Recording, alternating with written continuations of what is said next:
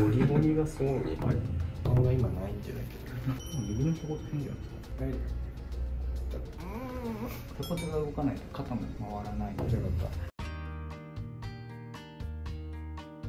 噂の神田の井上です。噂の神田のサーカスです。患者さんを実際今診療中ですので、ちょっと小声でですね、お届けしていきたいと思います。隙間時間を縫って、まあ前回サーカスがデコルテを受け、あきこ先生がデコルテを受け、じゃあ僕も受けていいなということになりまして、ねじ込みました。院長権限ですね。はい。というわけでよろしくお願いします。肩こりとかは？肩こりは普段はそんなに感じる方ではないんですけどただまたここ数日ちょっとね座ったまま寝ることが多く重たいかなみたいな部分があるので、はいはい、やっていきましょう結構あれですね。こう巻き込んでる方多い。肩は割とね普段意識はしてるんですけど、まあ、でもどちらかといえばまあそうですね巻き方に近いですねでは早速行ってみよう。では肩の可動域を見ていきますね。左の方硬いですね。動かしていきます。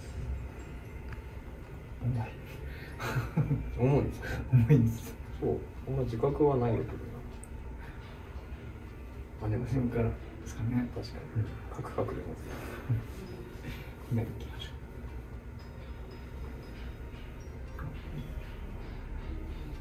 ゴリゴリゴリゴリがすごいねう。左から重いですね。ゴリゴリ首上向きましょうか。あ、意外といきます。なん。でこう僕の状態がいいとみん。なこう残念があるん。ですね左右が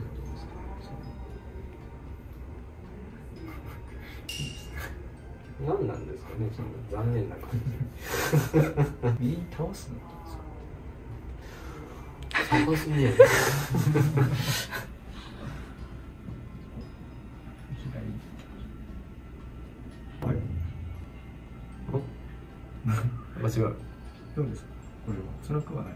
辛くはないけどまあこっちがなんかそうね。なんか倒れてない感はありますね。わかりました。ちょうどこの首の付け根かな、この後頸筋斜角筋あたりがなんかやっぱ動いてない感じはありますね。では仰向けにお願いします。仰向けになると眠気がすごいもう睡眠を欲してるじゃないですか。体からの SOS が。みんな勘違いしてますけど僕寝るのは好きなんですよ。むしろ大好きなぐらいただやることが多いっていうだけで。うんうん。あと布団が今ないっていうだけで。あそうでしたね。始めます。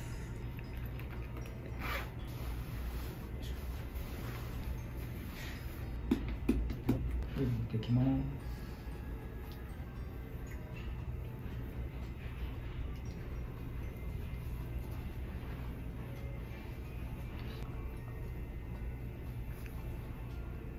どうですか？井上先生のデコルテは。ここにあれがあるんです肉割れがあるんですよ。うん。こっちの方が多分分かりやすい。あ本当だ。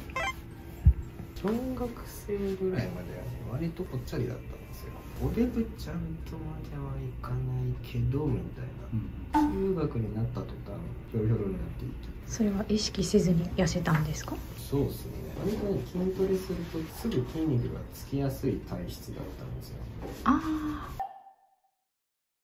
小学校の後半ぐらいから剣道を始めたので多分それでこうになっちゃったんですよね引きこもりにはだいぶきついスパルタな剣道だったのあ小学生の頃から引きこもりですか？で、はい、ゲームさえあればよかったゲームしてたんですねゲーム。禁止の家だったんですよ。だから学校が終わったら友達の家にダッシュで行くみたいな。ゲームしに友達がいない時とかは今はもうねあんまないですけどいわゆるゲームショップ。ゲームショップゲーム屋さん、今でいうゲオみたいな。あれが住んでるところにあったんですよ。でそこの店頭にデモ機が置いてあったんですよね、当時がね確かにあれだったんですよね。任天堂64がデモ機が置いてあって誰でもできたので。自分の仕事変じゃないですか？急に話題変えてくれる。せっかくこうそうそうつながると思うんですけどい。ちょっと気になった。真面目か。何ですか？あ。なんか右の仕事変だな。切ったくせにいいですひどい。なんか変ですか？気のせいでした。最悪だな。任天堂64がスマッシュブラザーズがちょうど流行った時期だったんですよ。あれを店頭で23時間。店頭で。デモしてます。毎日。引きこもりなんだけど割とこうコミュニケーション能力が高かったので店員さんと仲良くなりルールは守る子だったのでやりたそうな子がいたらちょっと案内するみたい案内。な「あいいよ」みたいな「はいはい答え」みたいな警備員兼デモプレイヤーみたいな感じで小学生は過ごしてましたね。あ痛いねちょっとね何ですか？ねサーカススケーターでしたっけ？そんな名前がついてるんですか？まあ何でもサーカスつけりゃいいっていうあれですけど、井上先生は今もゲームはやるんですか？やってますよ。今はどんなゲームをしてるんですか？モンスターハンターをねうん。アイスボーンをやってますね。モンスターハンターはプレステですか？プレステの4ですね。今度3月に新作が出るので予行演習です。新作をやりたいがゆえにスイッチ買いましたからね。次はスイッチで出るんですね。そう僕あんんまね任天堂好きではないんですけど新作が出るならと思って。スイッチとスイッチライトって違うんですか それを解析しだすと長くなります。けど普通のスイッチはポータブルみたいにもなるしテレビにもつなげるしみたいな。そうなんですでライトの方はもう完全にポータブル機ですよね。だからテレビにはつなげれない。えでもねあのスイッチはねアイディアすごいなと思うんですよね本当。テレビなくてもできるしね据え置きえー、え画面はどうなの？だからあの黒い部分が画面になるからあれとこの左右のコントローラーが外れるんですよね。ノートパソコンみたいに置いてでコントローラーこう持ってみたいな出張先とかでもあれだけ持っていけば据え置きみたいな感じでできるしケーブルさえ持っていけば出張先のテレビにねつないだらゲームできるし。あれはね発想がいいなって思いましたね。ソフトは一緒なんですか？ライトとあれは一緒ですえねでも今もうどうなのかなソフトで買う人いないんじゃないの？いるのかな？えソフトとか売ってない？買わないんですか？だって今もうダウンロードだから。ね 何にダウンロードするんですか？スイッチにへえあなんか2人ともあんまゲームしない派なんですか？私は全くです。あ人生損してますね。半分以上損してますね。そんなに楽しいですか？ゲームって。楽しいですよ。むしろゲームをしないで何が楽しいのかみたいないやーでもねゲームしたらもうね仕事が手につかなくなるんですよ。井上先生がしようとしてるゲームは何ですか？ロールプレイングゲーム。モンスターハンター自体がアクションみたいなものですからね。みんなでできるんですかね？4人かな確か。アクションっていうのは戦うってことですか？まあ、要はそうねゲームしたことない人に伝えるとしたらですね。マンモスを人間4人でどうやって狩るかみたいなそんなゲームです、まあ暴れるマンモスとか火を吹くマンモスをこうみんなで剣とか弓とか斧とかを使ってどうやって倒すかみたいな。東京の小学生こっちもそんなのかわかんないですけど友達の家に遊びに行く時間がないからゲーム上で待ち合わせするみたいそうそうオンライン化ですよね。今コロスケのせいでねそれに行けないから。な、でもオンライン上でね。マイクもついてるからえ普通に会話もできるし。すごいそういうのを楽しむってことですか？ゲームをしな僕がら。はしない。僕はオンラインゲームしない派なんですでもそのモンスターハンターもその4人で狩り行くじゃなくて僕は1人で狩り行くんですけど。うん。一人でも倒せるんですか？頑張ればね。へえ集団行動があんま得意じゃない自分オンラインは好きじゃないね。シミュレーションゲームはね多分やっちゃダメなんですよシミュレーションとか RPG を。やめられなくなるからですか？いやあの全部集めないと気が済まなくなるんですよ。前のシリーズからしたいってことですか？あまあそれもそうなんですけどはい。そうね分かりやすくポケモンぐらいはしたことありますか？ポケモン GO ならあります。まあいいやポケモン GO でもいいですよ。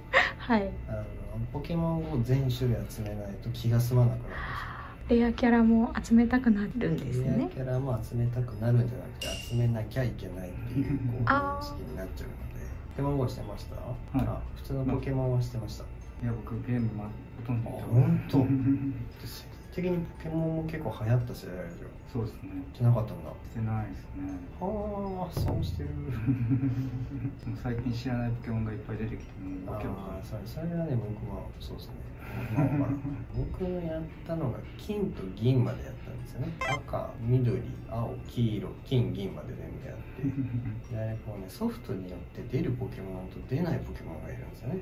全部揃えようと思ったら友達と協力して集めるかソフトを2つ買わなきゃいけないわけですよ、まあ、当然引きこもりの僕はソフト2つ買い全部集めたというね。だいぶやったもんねポケモンはね常人の2倍ぐらいは余裕でやってたので それからですねロープレとかシミュレーションはこう手出していけねえなっていうふうに思って終わりました重要なミスを僕は受け取ってない。ああ。受け取ってない。受け取ってください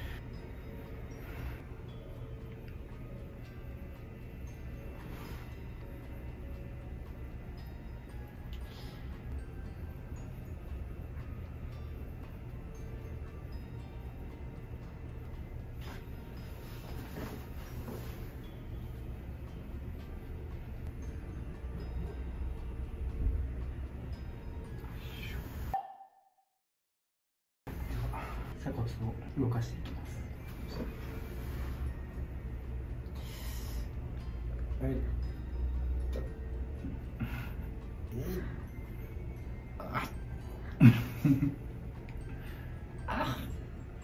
一番こうやって。鎖骨をですね。い動かします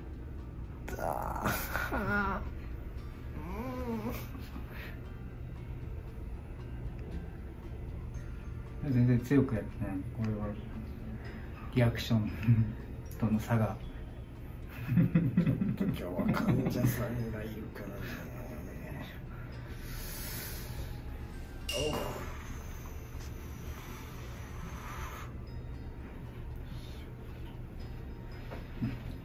動いてきました Thank you.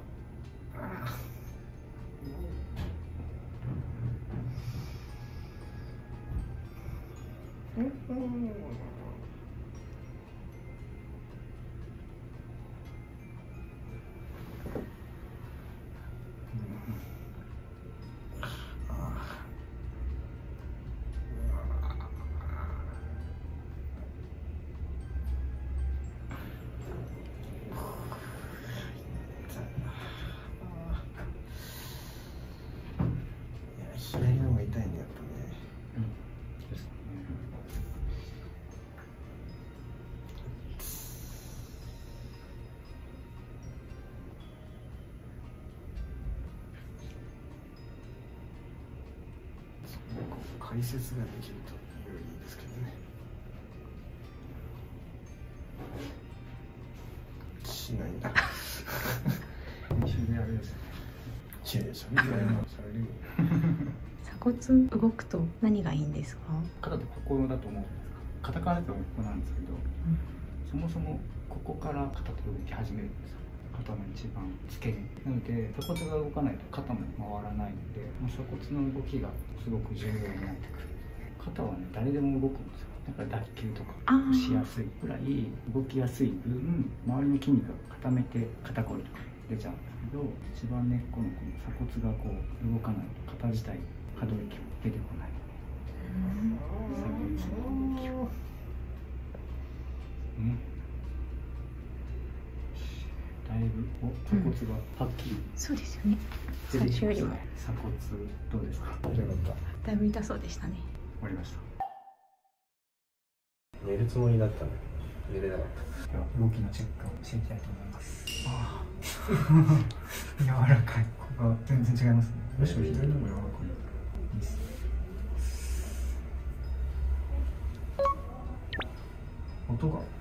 がうん。音はねだいぶならなくなります。うん。そんなあげる。そんなそんなこれでもかっていうぐらいあげます。左がすごい軽い。いやそんなあげる。首どうでしょね、はい、横に倒す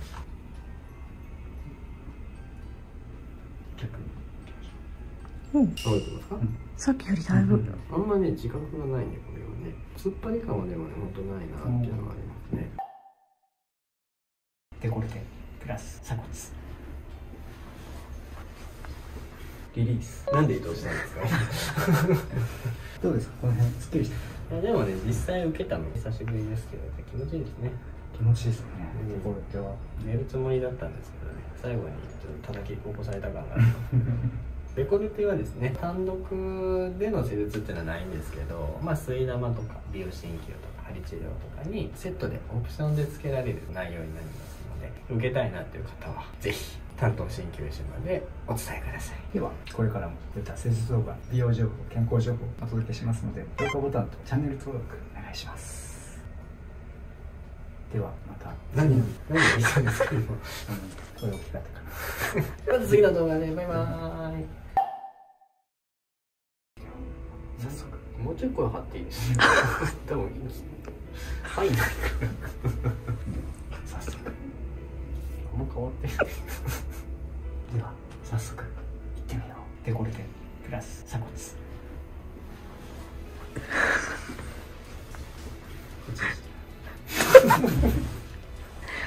今の続きから言ってください。そこリリース。リリースなんで移動したんですか？なんか編集編集でこっちに瞬間移動みたいなのできるできますよ。今のは逆に移動するシーン込めて。込みでですね。使ってください。はい、はい